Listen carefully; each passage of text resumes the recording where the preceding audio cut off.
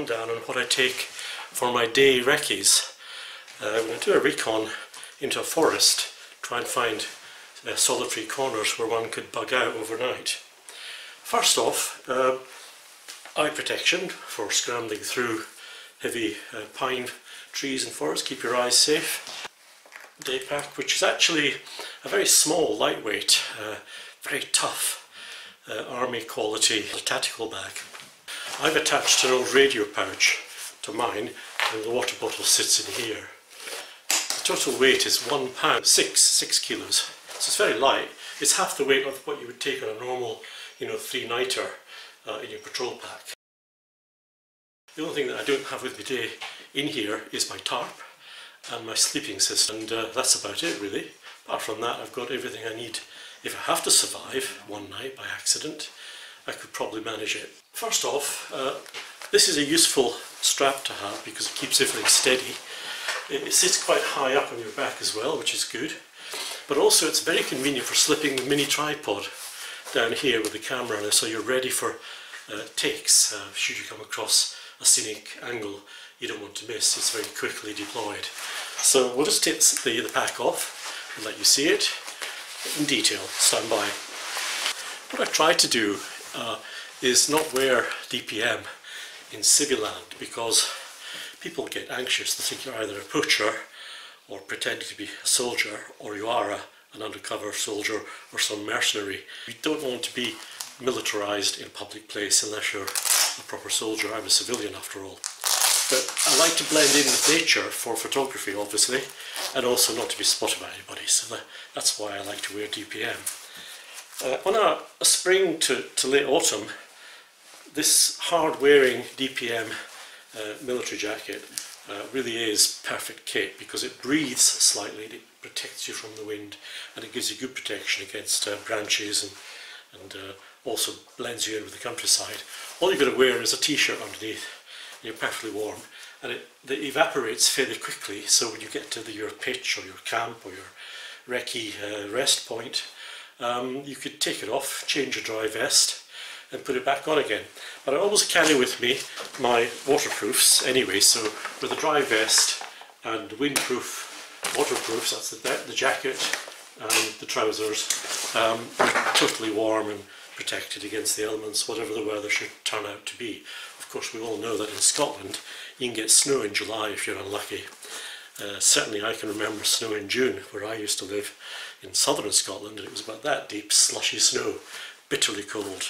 But you know, that's very unusual. Anyhow, here we go. So uh, I'll give, give you some detail and close-up on the kit that I take with me. Stand by.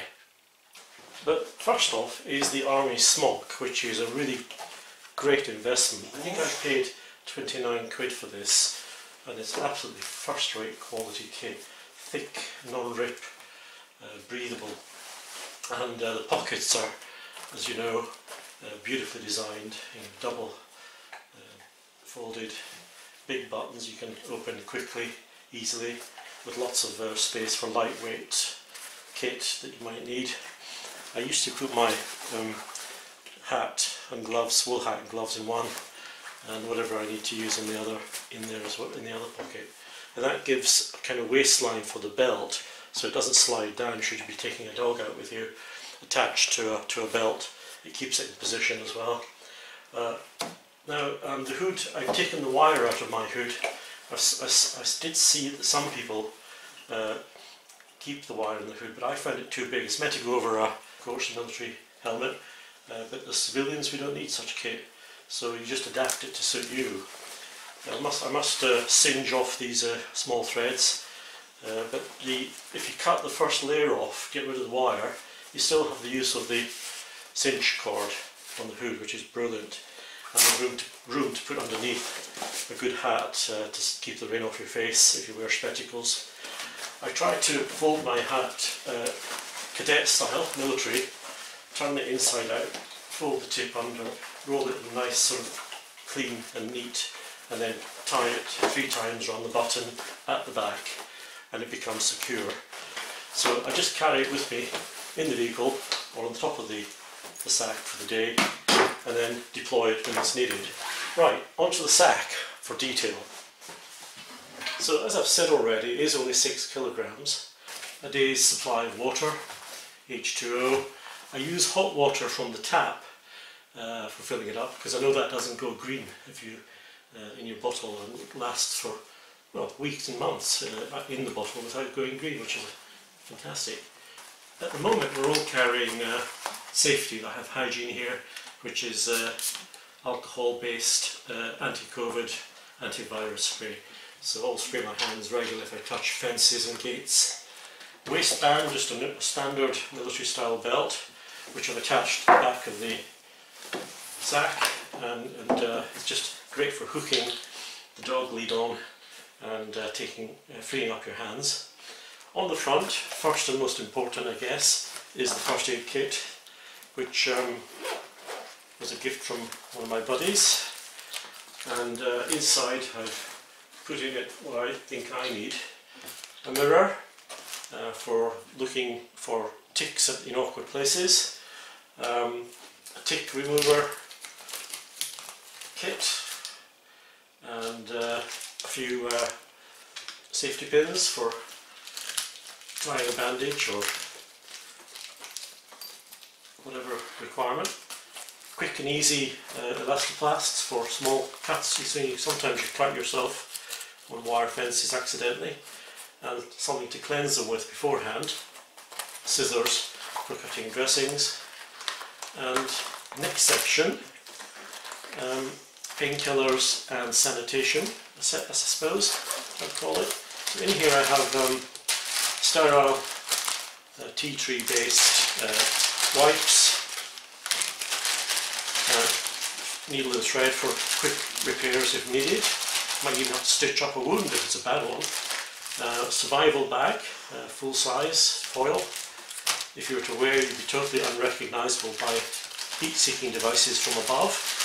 Painkillers, two types, anti-inflammatory and very powerful um, paracetamol uh, 500 gram pills. You take two of those during an event and the pain will subside very quickly. So that's the medical uh, kit.